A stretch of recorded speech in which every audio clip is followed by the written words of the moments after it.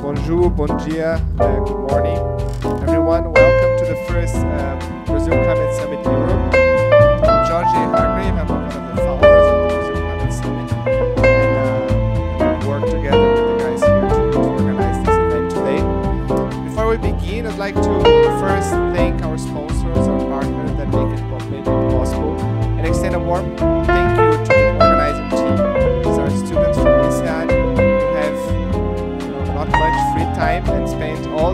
time organizing this event with much care. So I'd like to ask you to join me uh, giving them a, a round of applause.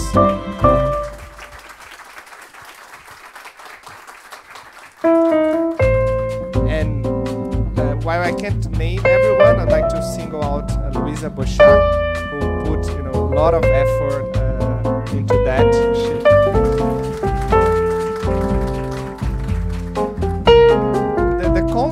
Brazil Climate Summit was conceived a few years ago from Brazilian professionals and, and Columbia University students.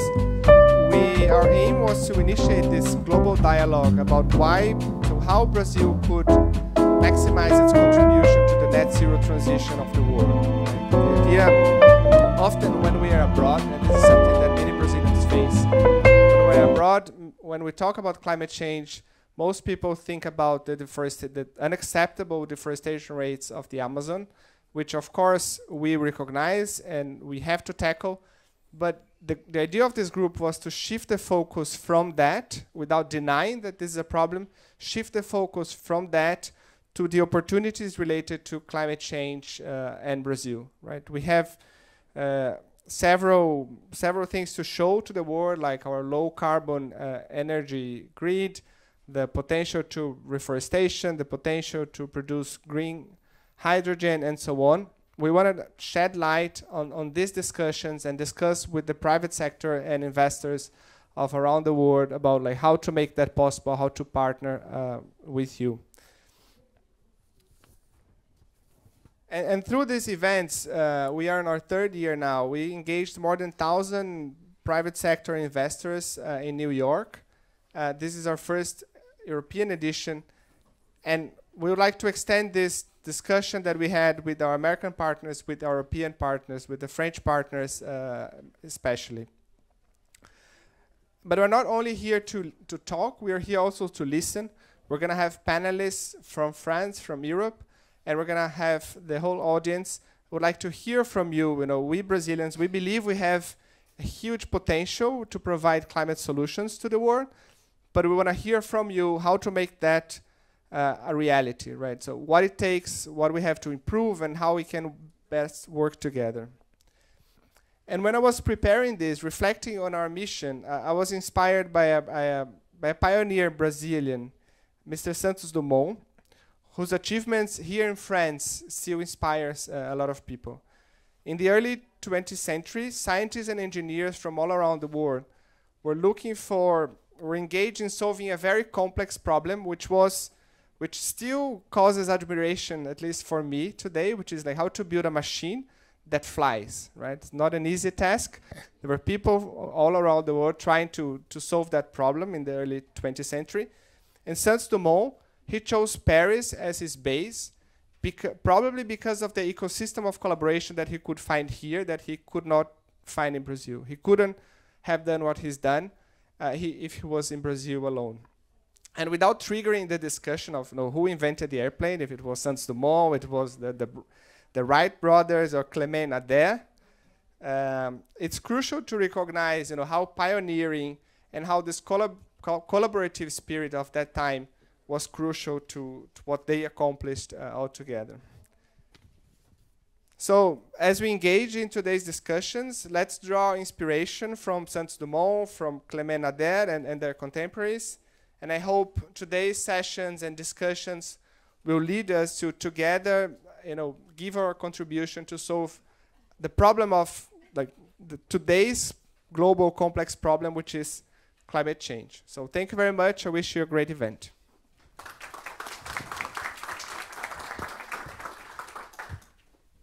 Thank you, George. So uh, now uh, a pleasure also uh, to invite uh, Francisco Veloso, our dean of uh, the INSEAD, uh, to talk a little bit for us in terms of the importance and the highlights of, let's say, the, the, the, the academy and the, and the business needs far away go together. And this is the very important point.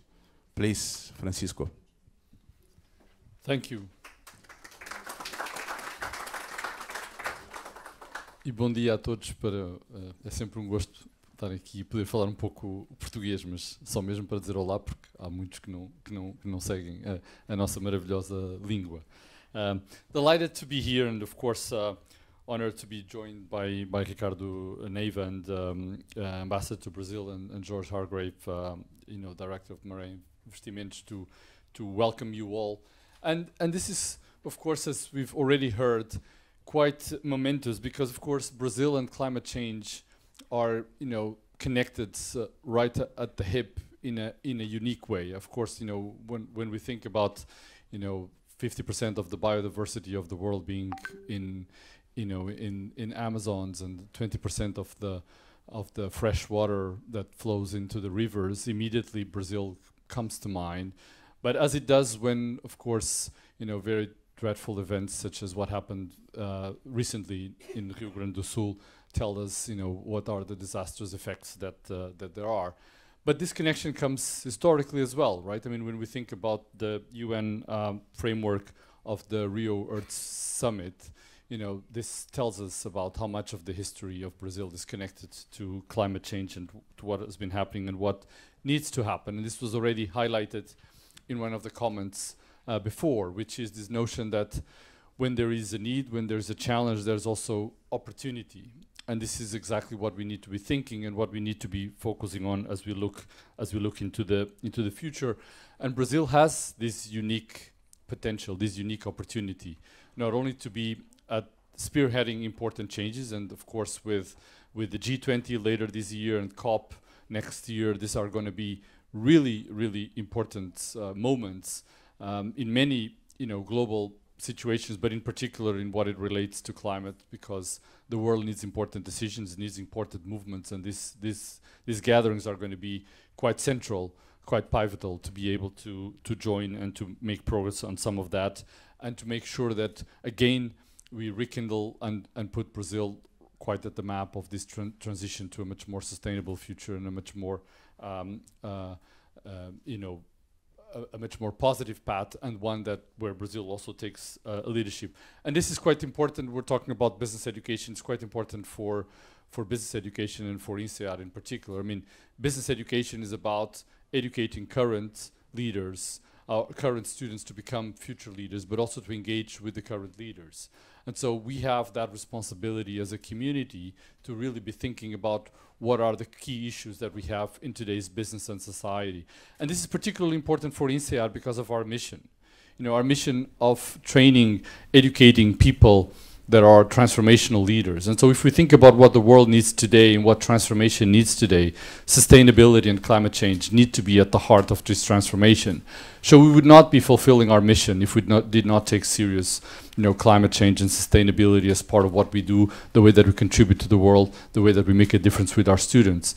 And we are committed to do that. I mean, one of the things that we did, for example, this year was we completely rejigged our MBA to have climate um, change and sustainability across all our core courses and also in our capstone project. In fact, the first capstone project was actually two weeks ago, and it has been a huge success and a really interesting opportunity. I've been talking to some of the participants and some of some of you that might be here may, may share your own perspectives, but uh, but a lot of enthusiasm with the school across the people that I've talked with that um, with that uh, with that opportunity, and and this is of course you know we're also very present with our Hoffmann Institute for uh, Global Institute for Business and Society, which is our institute to really be pushing you know, the frontier in terms of sustainability. And this, of course, brings and extends to the whole community.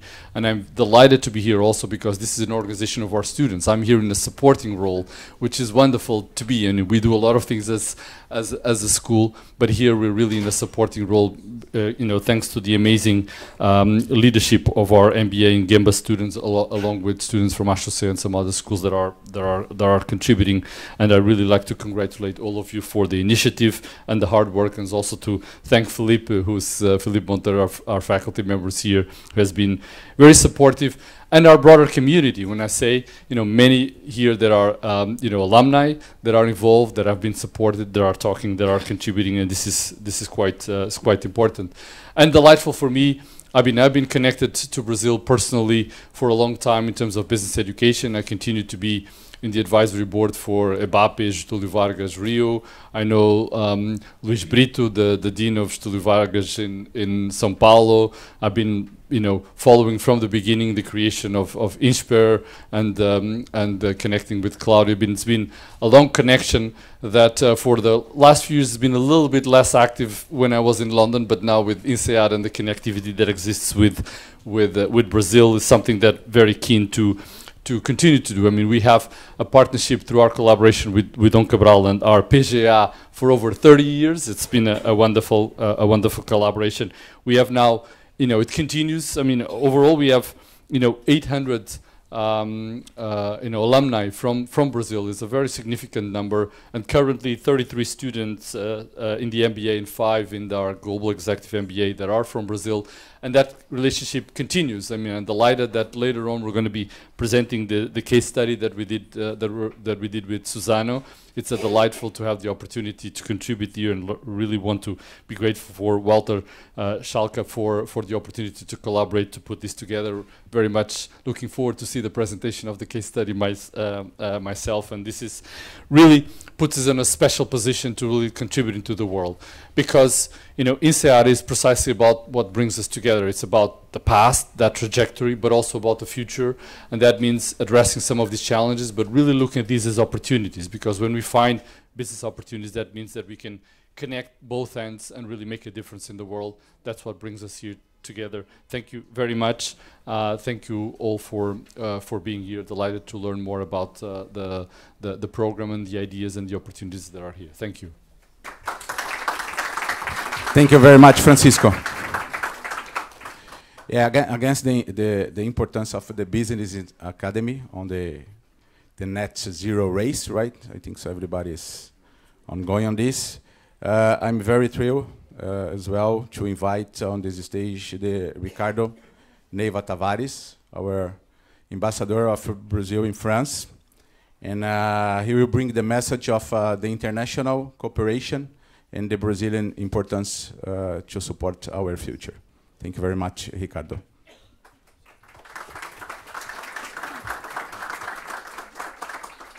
Bom dia, good morning, bonjour.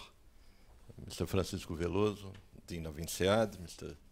George Hargrave, uh, Director of Maraé Investments. I uh, thank INSEAD for the invitation and congratulate you on the organization of this conference, which is so well attended and has been able to mobilize high-level experts and authorities to discuss the role of Brazil in the fight against climate change. I'm also very pleased that the Maison de l'Amérique latine, a traditional partner of the Embassy of Brazil in Paris, is hosting it. We're very glad to support this event. I uh, cannot start without referring to the tragic events in Rio Grande do Sul, in the south of Brazil, where unusually heavy rains led to massive flooding that killed over 160 people and impacted around 2 million individuals, not to mention the damages to infrastructure and cultural heritage. The situation in Rio Grande do Sul has been seen by many as a true wake-up call on the need for an effective global response to the threat of climate change. The climate crisis allows for no more delays. It's an absolute priority for the Brazilian government, as translated in our policies to curb deforestation and accelerate our energy transition. But no less important is also working towards effective and urgent action by the international community. Climate change is a global problem that requires concerted responses in accordance with countries' responsibilities. As you know, Brazil is a central player in international environmental negotiations, whose contributions have been widely recognized when it comes to drawing up the main multilateral agreements, including the UN Climate Convention signed in Rio de Janeiro in 1992, and in advancing the sustainable development concept of which Agenda 2030 is a good example, as Minister Izabella Teixeira knows very well. Uh, but allow me to comment on the background that guides Brazil's actions at the moment. The first global stocktaking on of the Paris Agreement, concluded last year during COP28 in Dubai, made it clear that despite all our efforts, we are not yet on the path needed to tackle the climate emergency, neither in mitigation and adaptation actions, nor in mobilizing finance for developing countries. At the same time, the international community has not been paralyzed. At COP28, countries united around an effort to correct course in order to keep the goal of not exceeding one and a half degrees of warming set in the Paris Agreement within reach. This new framework for action, called the UAE Consensus, includes accelerating the energy transition, transitioning away from fossil fuels, and mobilizing financial and technological resources to achieve this aspiration. Also, at COP28 in Dubai, Brazil called for an ambitious program called Mission 1.5 to be led jointly by the presidencies of COP28, the UAE, COP29, Azerbaijan, and COP30, Brazil. This pioneering initiative of gathering a troika of presidencies is designed to create an international enabling environment that is conducive to ambition in the next cycle of NDCs to be presented in 2025, responding to this resolve by the international community to pursue efforts to limit the temperature increase to one and a half degrees. It's that sense of urgency that also guides Brazil's presidency of the G20 this year, and the decision to establish a task force for a global mobilization against climate change. The task force is a time-bound initiative that proposes to adopt this year a high-level agenda for the G20 that maximizes the chance of not exceeding the one and a half degrees objective. We chose to do that by focusing on three key aspects of climate action by transforming the ways we design climate policy for bold and structural changes, by unlocking private finance, and by resetting financial flows towards full alignment with the Paris Agreement. Rising to this challenge is the question facing Brazil on the road to COP30. We will endeavor to respond in accordance with the trust placed in us by the international community. As our tradition with environmental events of this magnitude establishes, we will not do it alone. Addressing climate change requires a spirit of international cooperation, as well as the engagement of civil society, businesses, and of course, the scientific community, hence the importance of events like this. As you will hear throughout the day, Brazil has the credentials and conditions to consolidate itself as a model for energy transition in a low-carbon economy. We will continue to pursue ambitious domestic policies while continuing to advocate for effective international action that allows for just transitions and for a balanced and robust multilateral regime in the pillars of mitigation adaptation, and financing. I wish you all a very productive discussion. Look forward to hearing about the outcomes of the event. Thank you very much.